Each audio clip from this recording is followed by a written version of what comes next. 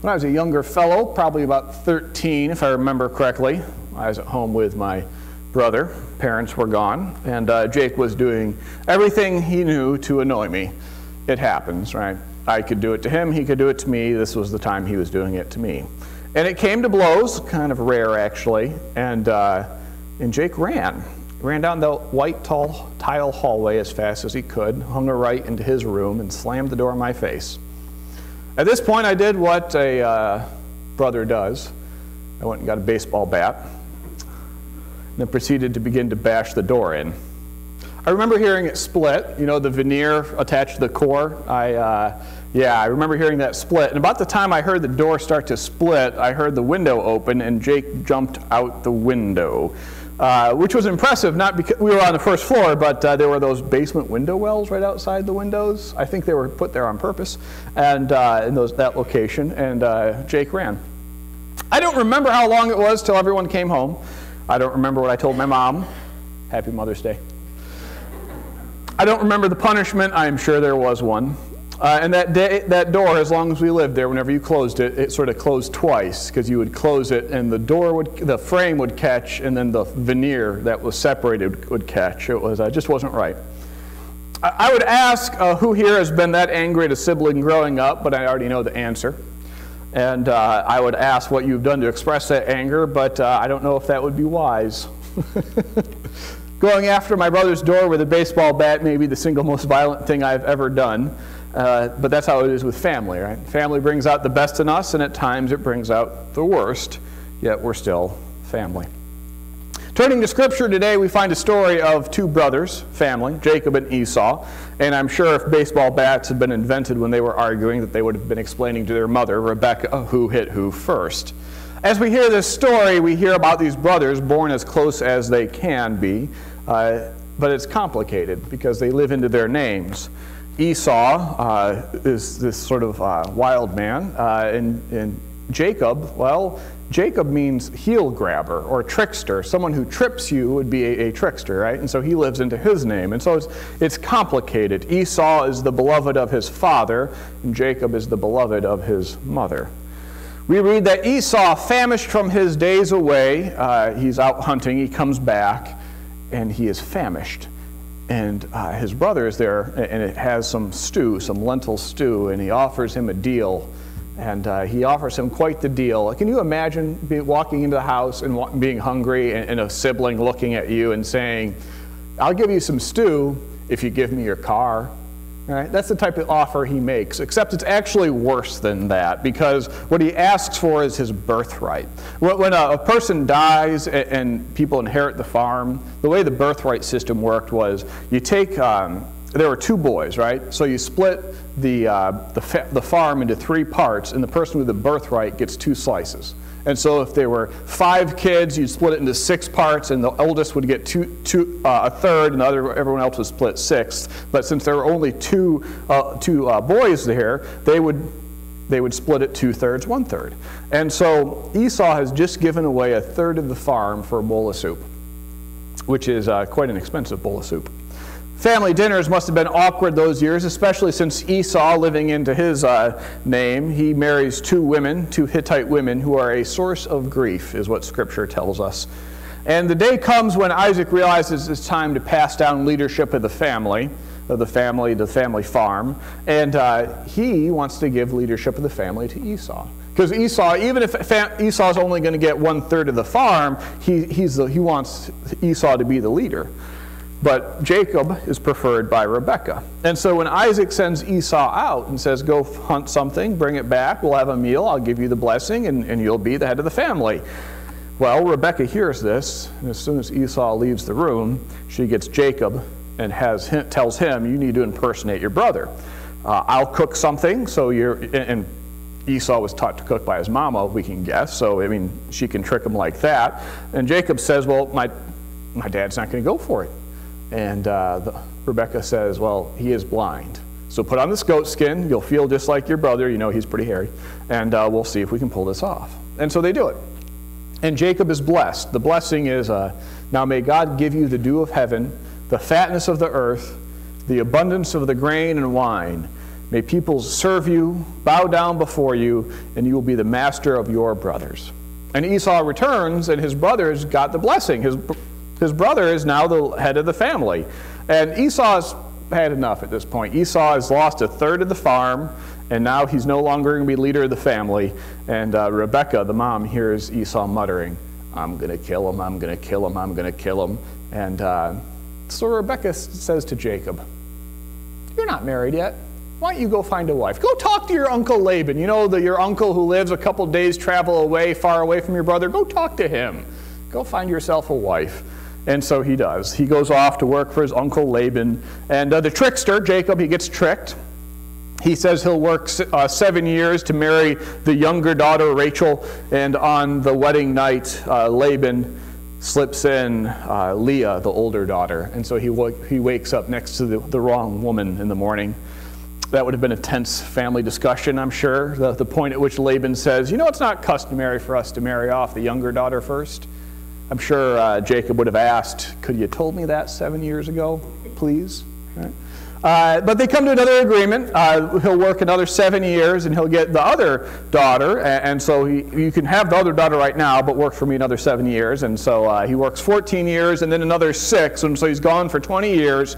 And, and then he decides it's time to go home. And I'm glossing over about three or four just amazingly fun stories. But he, he decides he's going to he's to head home and he takes his two wives, two maids, 12 children, huge flock, and they start heading home. And uh, Rebecca, his mom, has got to be ecstatic about this. Can you imagine not seeing a child for 20 years and then he's going to show up and he's going to show up with two wives and 12 grandchildren? 12 brand new grandchildren, right? And she's got to be worried though because Esau, the older brother, he gets together the welcoming party and it's 400 men. How big of a flock, how big of a herd do you need to have that you have 400 men handy to go with you? Think about how big of a farm you have to have, that you have 400 hired hands. And so he gets together the hired hands, 400 hired hands, and they go out to meet uh, Jacob. And Jacob hears that his brother is coming with 400 people, and he is terrified. And so he starts going through all of his flock, right? Uh, and, and, picks out some of the finest that he has. And he starts sending groups of lambs and camels and his, uh, whatever, any, any, livestock he can, he can send. He sends forward in groups with servants leading them. And, and as his brother Esau comes, comes across these groups, he tells them, Tell my brother, this is for you. This is for you. And so he, it's like a little traveling pack of Christmas presents heading towards his brother. 510, 510 head of livestock show up that's how many head of livestock uh, uh, Esau is given by his brother Jacob as he is approaching. And so Jacob meets Esau, and uh, Jacob apologizes all over himself, and Esau says, "What's with all the, what's with all the cattle, brother?" And uh, Jacob says, "Oh, it's all yours. Take it. It's a gift. Seriously." Um, and Esau doesn't give anything back. And in that culture, you know, if I gave one of you 500 head of cattle, you'd, you'd do something for me, wouldn't you? Right? Something. I don't know what. Maybe a nice pocket knife or two, right? But uh, if I give you 500 head of cattle and the other person just takes it, there's something going on there. And I, I, my guess is that Jacob is trying to, he had taken his brother's birthright for a cup of stew a few, of 20 years ago. I think he's trying to square up. Right? He's trying to, here, here, here, have an entire herd of the finest animals I have. Are we square now? And, and Esau, they, they hug, they're happy, they're overjoyed. They're square their family, right? Rebecca has her two new uh, daughters-in-law, 12 grandchildren, and their family again. Family, you know, family brings out the worst in us, brings out the best in us, but they, they're still managed to be family. Another story of family, in 1844, the Methodist Church got together. Every four years, the Methodist Church gets together to have a long meeting. Oh, my Lord, a long meeting. This meeting lasted a month and a week. And uh, it just went on forever and ever. This meeting of the church split the church because you see, there was this bishop, Bishop Andrew, and he had slaves. And so they had this argument about what they should do. The North wanted the, the, the, southern bishop, Bishop Andrew, to get rid of his slaves. And so the church split into the Methodist Church South. We're standing in the Methodist Church South and the Methodist Church North, that brick building down the road from us, that's the Methodist Church North. And so this impacted even Milan, this argument that they had. And so this bishop, Bishop Andrews, was the cause of this argument, and it's family, right? It's complicated. You can't just say it's because someone had slaves. That was the argument. Well, Bishop Andrews had, Andrew hadn't actually bought slaves. He had married a woman whose first husband had died and she had inherited slaves. And so Bishop Andrew married a woman who had inherited slaves. So it's not like he was involved in buying slaves.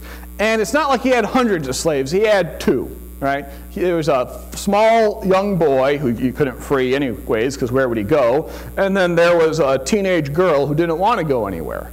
Right? So two slaves. And uh, it was illegal for him to let them go anyways in, in the state of Georgia. But again, it gets more complicated. Family, it's always complicated.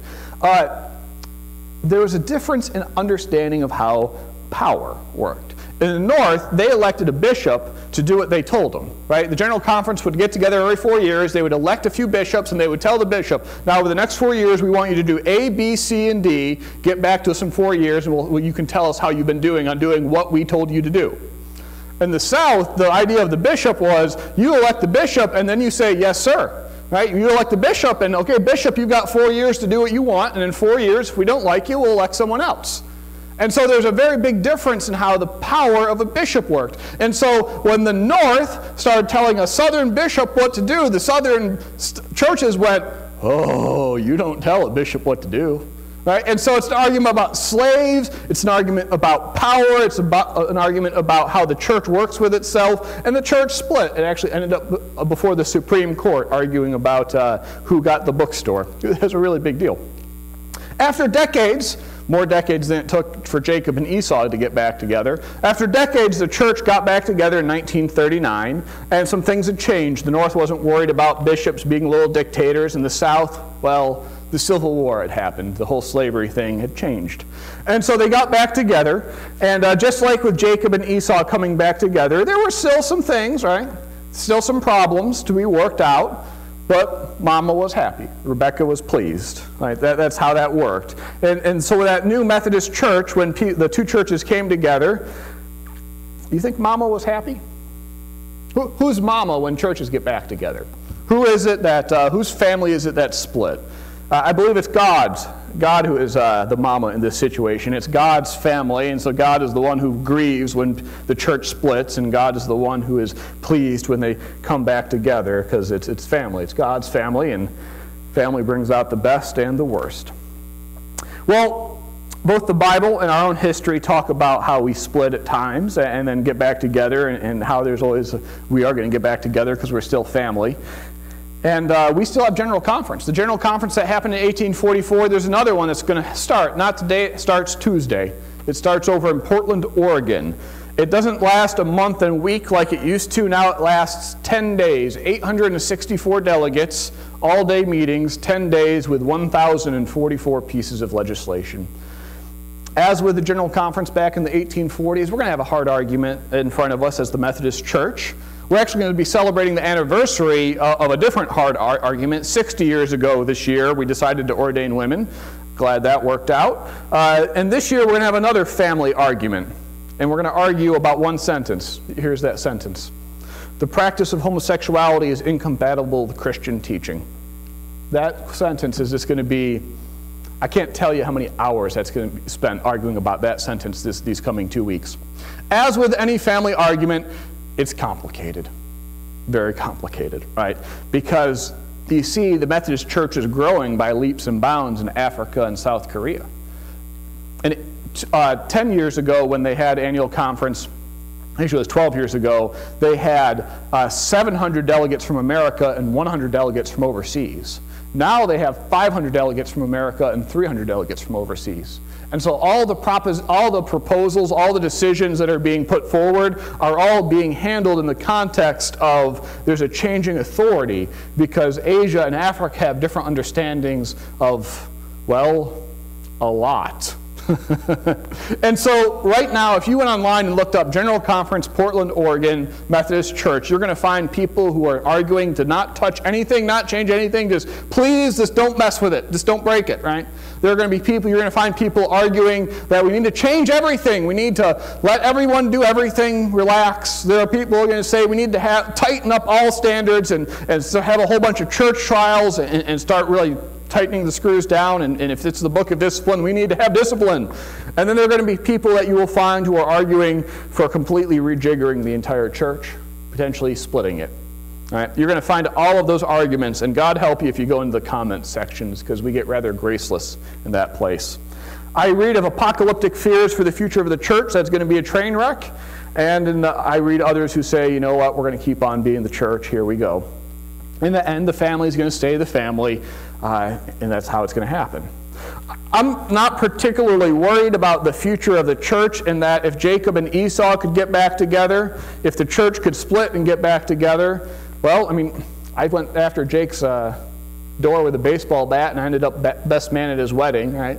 I believe that family, it brings out the best in us, it brings out the worst in us. Maybe something big will happen at General Conference, maybe not much at all. I, I don't know. But I know that mom was looking out for the family, drawing them back together because we're still going to be family. If you can go to this next, there's a picture. If you can go to this next picture. Uh, these are the people who will be at General Conference. They've actually flown there already. They're uh, going to Portland, and they are from Missouri.